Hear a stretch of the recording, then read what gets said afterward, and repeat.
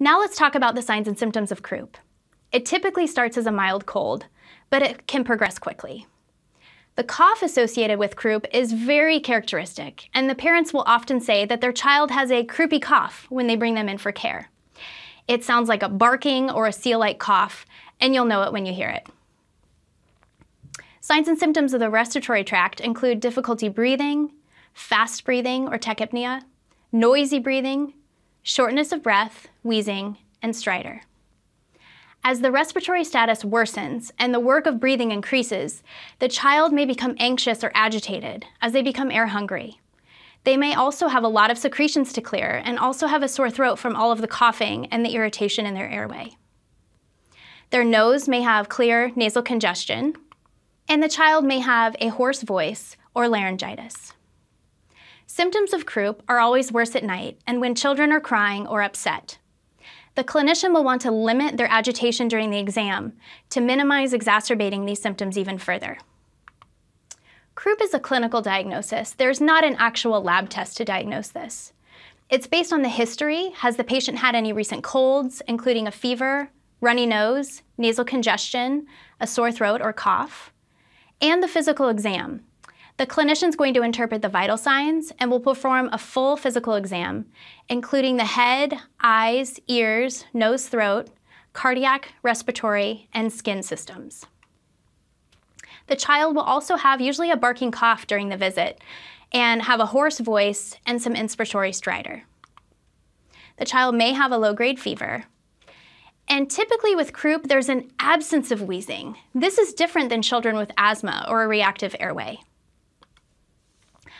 How do you manage croup? Well, most cases are a mild viral illness that can be managed at home, but rarely croup can be severe or life-threatening. Unfortunately, we don't have any medications that will make the inciting virus go away any faster. So the focus on croup is on making the child more comfortable while the virus can run its course. Remember, antibiotics do not treat viral infections. The first step in managing croup is to administer corticosteroids. This could be dexamethasone or prednisone, and this is a mainstay treatment to help decrease the swelling in the upper airway. Unfortunately, these medications take a while to work. They can take four to six hours. So you want to give them early in an outpatient setting so they can get on board before the symptoms worsen that night. Another option in more extreme cases is racemic epinephrine. This is when the patient's airway is being acutely compromised and the patient does not have hours to wait on their steroids to work. This is administered via a nebulizer treatment. It will very quickly decrease the airway swelling and should be done in a hospital setting because any patient that requires racemic epinephrine is at risk for airway compromise due to the severity of their croup. Here's a child receiving a racemic epinephrine nebulizer treatment, and you can see they also have a nasal cannula with some supplemental oxygen. Another management technique is to administer acetaminophen or ibuprofen. This can help decrease the sore throat associated from the coughing and can also make the child just generally feel, feel better. Remember, ibuprofen can only be administered in greater than six-month-olds. A controversial management technique is humidified air. It has debatable efficacy. It used to be the mainstay, but delivery devices have been evolving and humidifying crib tents are no longer used. In studies, they found that the particle size created by blow-by humidifiers is not optimal for deposition in the larynx. And also they've studied warm and dry or cool and dry air, and that actually produced the greatest reduction in airway resistance, whereas there was no reduction in the moist air group. Some countries have completely abandoned this treatment regimen, although in the United States, the standard for inpatient and outpatient management of croup still includes humidified air. In the primary care setting, you're going to want to create a steam-filled bathroom or bundle the child up and take them outside into the moist air. If it's cool outside, the parents can also roll the windows down in the car. Complications of croup are rare. They can include secondary bacterial infections after the viral infection has passed.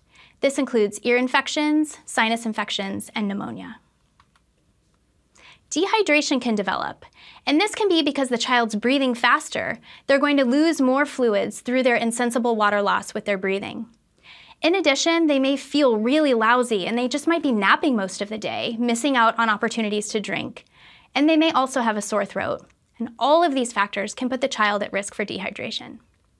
encourage the parents to push fluids, and encourage water-rich foods such as jello, applesauce, pudding, fruits, and popsicles. Respiratory distress can also develop with croup. Some children are going to develop complications that need additional respiratory support. It's important for the clinician to perform frequent and thorough respiratory exams to watch for signs of decline. The child may need additional support, including oxygen, IV fluids, and racemic epinephrine. Children with increased risk factors include those with a history of lung or neurologic disorders, such as asthma, and children who are more likely to develop severe croup symptoms may require hospitalization.